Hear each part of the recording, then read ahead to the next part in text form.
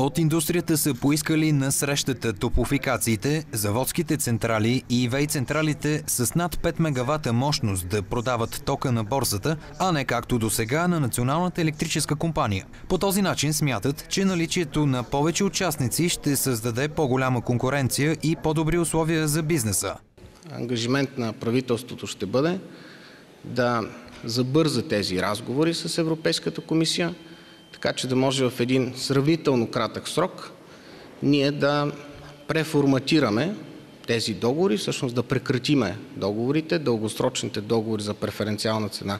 На срещата с премиера е обсъдена и дейността на така наречените американски централи Марица Изток 1 и 3. Поставен е отново въпросът за прекратяването на дългосрочните договори, по които Националната електрическа компания е задължена да изкупува на преференциални цени произведената енергия.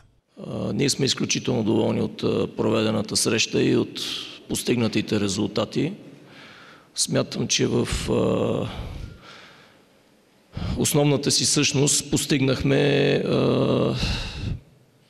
припознаване на позициите ни с позициите на министър-председателя и получихме една сериозна подкрепа. Коментар по темата за договорите направи и председателят на Комисията за енергийно и водно регулиране Иван Иванов, според когото България е забавила с година разговора с Брюксел за американските тецове.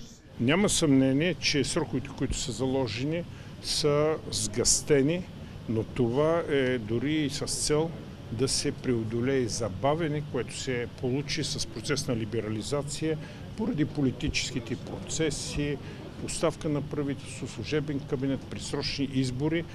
Синдикатите, КРИП, Българска стопанска камера, Асоциацията на индустриалния капитал и Българско търговска промишлена палата дори поискаха оставката на ресорния министр Теменушка Петкова, тъй като имала вина за проблемите в сектора. След проведените разговори с Борисов за пореден път се отказаха от искането за смяна на министъра.